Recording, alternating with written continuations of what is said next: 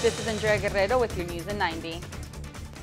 A UF law student returns home after being injured during the deadliest mass shooting in modern U.S. history.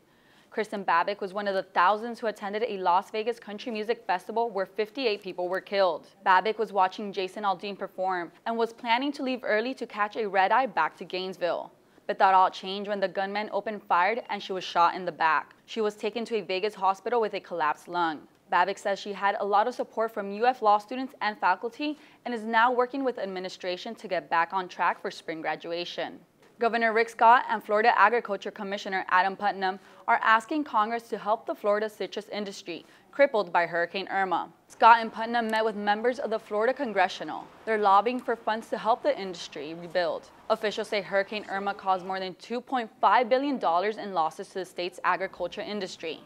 Governor Scott activated a $25 million Florida Citrus Emergency Loan Program to support citrus growers impacted by the storm.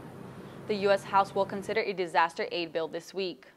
The death toll is rising as wildfires continue across Northern California. 23 people have now died in the fires and hundreds are still missing. The fires have been burning since the weekend and the fire teams have not been able to contain them. Shelters have been opened to house families who are in danger zones. In Napa, one of the hardest hit areas, the fire continues to intensify, making it one of the most destructive and deadly fires ever. That's your news in 90, but your Florida news is always on at WUFT.org.